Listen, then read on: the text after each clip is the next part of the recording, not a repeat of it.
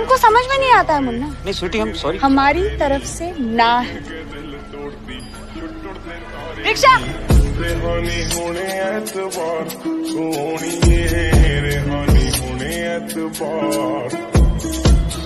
नहीं चलते